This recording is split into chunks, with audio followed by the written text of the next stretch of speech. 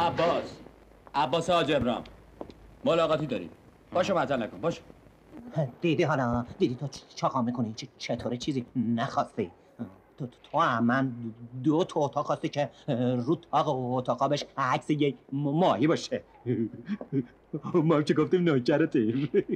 داخل دروغ گفتی دیگه. می‌خوای به سند بدیم که ما نوکرتیم. می‌خوای استشهاد محلی درست بکنیم. ش- شادی سر کنم زیرش امضا کنه. من من من اینت سرکار وقت داره تموم میشه. چاقا نکن سرکار خلاص شم خونه دارت می‌کنم. دو, دو تا اتاق واسط می‌گیرم.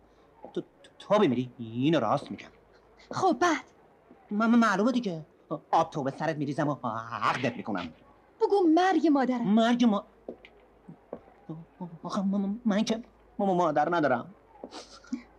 من خلاصت می‌کنم. قربون من می‌دونم چقدر بدهکاری اما الهی اگه بازم بهم دروغ گفته باشی یا جفت چشات کور شه. الهی. الهی بری زیر یکی از اون کامیون گنده ها و ولوش. الهی. الهی اگه دروغ بگی. الهی چی؟ اگه دروغ بگی. تو رو خدا اینقدر بهم دروغ نگو. ده- ده- تو- بمیری دروغ تو ذات ما نی.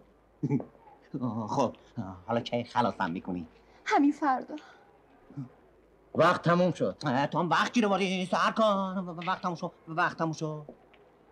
ببین بنفشه منو تو چش انتظاری نکاری بری. ها- حاجی حاجی مکه با. حمید. آره بایی